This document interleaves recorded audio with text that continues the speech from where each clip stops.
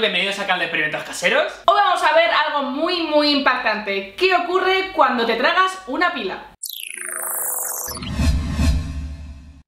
Hoy vamos a empezar con un tema un poquito serio y quiero lanzaros una pregunta. ¿Cuántos de vosotros tienen por ahí por la casa pilas, no sé, en los cajones o en algún sitio donde tengáis acumulados pues los trastos y hayáis oído muchas veces las pilas son peligrosas, pero las seguís dejando por ahí tiradas? Bueno, pues hay varios casos que ocurren a lo largo del año y es de niños pequeños, bebés, que se tragan pilas de estas de botón, de los que se suelen poner en los relojes. Y por ello, para que cojáis conciencia, vosotros y nosotros, vamos a realizar un experimento para comprobar qué ocurre en la garganta de un niño pequeño cuando se traga una pila. Aquí tenemos pechuga de pavo que lo vamos a utilizar para simular lo que es la garganta del niño. Ahora vamos a colocar una pila en este lado y la otra en este. Ahora vamos a echar un poquito de agua para simular lo que es la saliva y vamos a cubrir una de las pilas.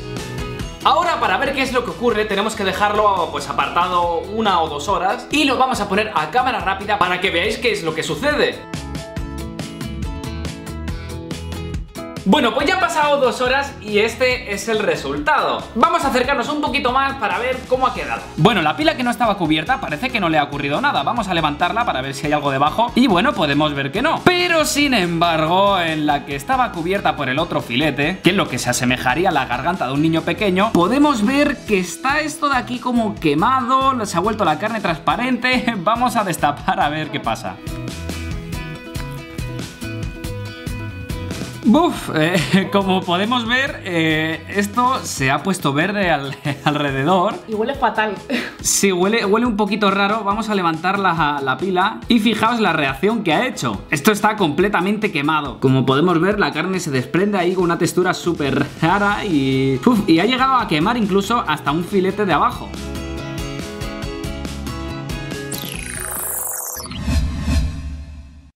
Bueno, como habéis visto el resultado es impactante y pensar que eso es lo que puede ocurrir si nos tragamos una pila. Así que por favor os pedimos que a partir de ahora, si tenéis eh, hijos en casa o sobrinos, eh, primos, lo que sea, intentéis recoger todas las pilas y guardarlas bien. Porque en cualquier descuido se la pueden meter en la boca y ocurre esta desgracia. De hecho, incluso en el paquete ponía que puede llegar a la muerte En solamente dos horas No es para tomarse la broma Así que por favor, si tenéis pilas usadas, llevarlas al contenedor de reciclaje y el resto pues guardarlas muy bien para que no ocurra ningún accidente. Y si no os creéis nada de esto, ya sabéis, hacerlo en casa y comprobarlo con vuestros propios ojos Porque vuelvo a repetir, ya se han dado varios casos al año de, de este tipo de sucesos. Así que nada, esperamos que os haya gustado este vídeo y que le deis un buen me gusta. Si es la primera vez que ves uno de nuestros vídeos, suscríbete. Y si te has quedado con ganas de más, pásate por uno de los vídeos que te dejamos por aquí o por nuestro otro canal, Eps Caseros Kids